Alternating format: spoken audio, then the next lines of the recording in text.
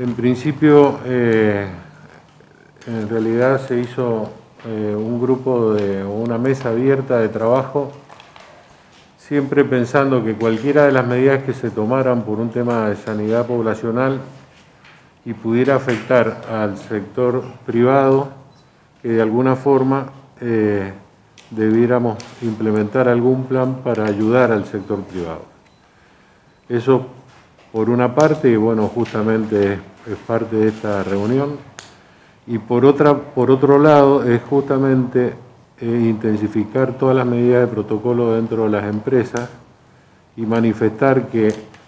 siempre las empresas son parte de la solución eh, a este problema de la pandemia. Y por último, bueno, quería decirles que por más que reforcemos los protocolos y que,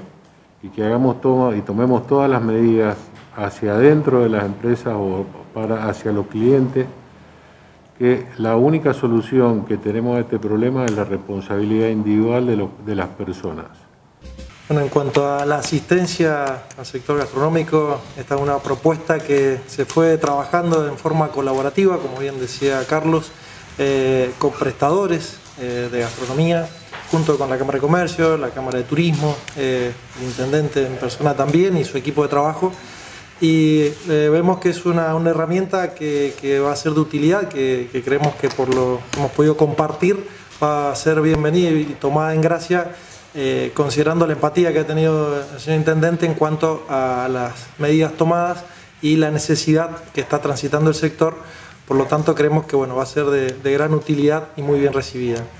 Eh, fundamentalmente este acuerdo tiene que ver eh, en hacer una propuesta de, compra de un sistema de viandas, en lo que tiene que ver